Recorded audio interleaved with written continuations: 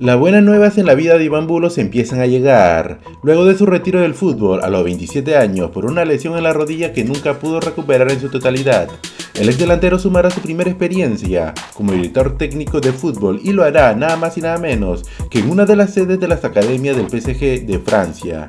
Tengo una vida por delante y no la quiero pasar en una silla de ruedas.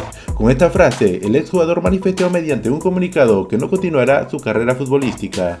Llevo arrastrando problemas en la rodilla derecha desde hace un par de años. He pasado por más de 5 cirugías intentando recuperar las distintas partes afectadas.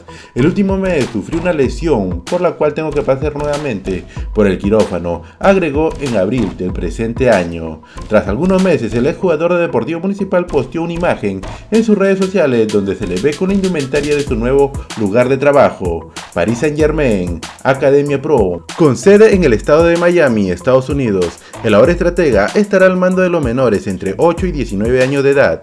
En una reciente entrevista para el comercio, el ex seleccionado peruano confesó a lo que quería dedicarse luego de dejar el fútbol, respondiendo que ya había iniciado la carrera de DT. Sí, una gran parte del curso en lo que me quiero dedicar es dirigir a mayores, sabiendo que tengo que empezar en reserva. Además confesó que se había reunido con Juan Reynoso y también lo haría con Ricardo Areca. Iván Bulos vistió la camiseta de nueve equipos desde su debut en Sporting Cristal en el año 2012.